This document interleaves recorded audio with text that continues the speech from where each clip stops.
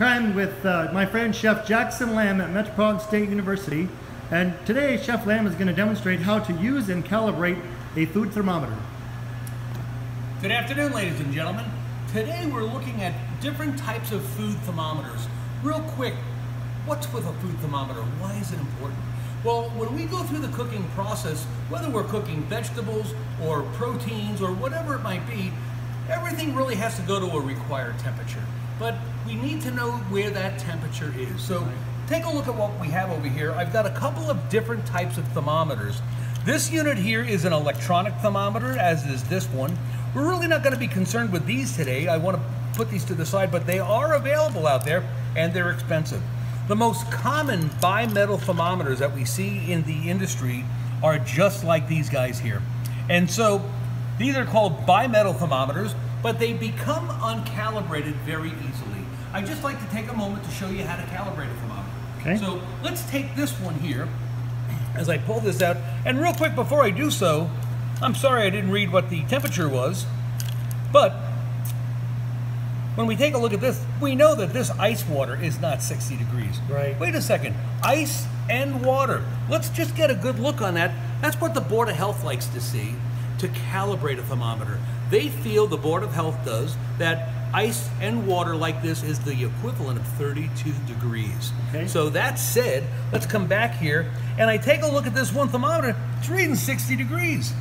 The thermometer says 60. I know the water is 32. Right. Well, here's how this works. On the back here, I've got, there's a big nut on this one. On this one, there's a big, it's like a knurled knob. All right? Yep. So let's do, uh, let's do the nut first. Usually if you've got a thermometer that's got a nut like this, it comes with a holder. This goes in my pocket in my chef uniform, but look at this, it's like a little wrench down here. Oh yeah, I see that. Yep. So we're gonna just put this in here like so. Now my hex nut is engaged into the wrench part. Let's just park that down there and see where that temperature goes. In the meantime, I'm not gonna take this one out of the water, but it does say that it's at 32 degrees. Okay. Well, wait a second, look this, look at this. I can grab my knurled knob and I can twist this.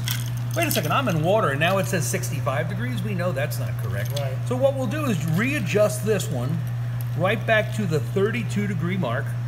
Okay. So you're just holding the back and turning the top, right? There it is. Yep, so I'm holding the top. This all rotates. So that's at 32 degrees. Where am I at over here? I'm still at 60. But look at this. I'm in the water. All I have to do is dial this. And I there. I am at 32 degrees. Perfect. Now, Chef, why are there dimples in these thermometers? I see there's a little dimple on the side of them. So when you take a look at this thermometer here, Yep. It's bimetal. That's where one metal tab is, and the other metal tab is at the end here. I see that. So what's really happening is when you put this into a piece of meat, it's going to re- get two readings and give you an average. Okay. Right.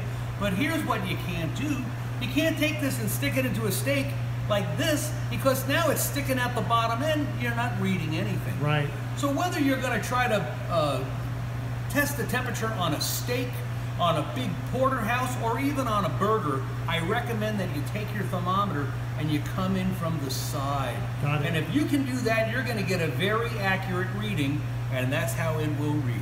Perfect. And this is Chef Jackson Lamb at Metro State University of Denver. Happy cooking, everybody! Thanks, Chef.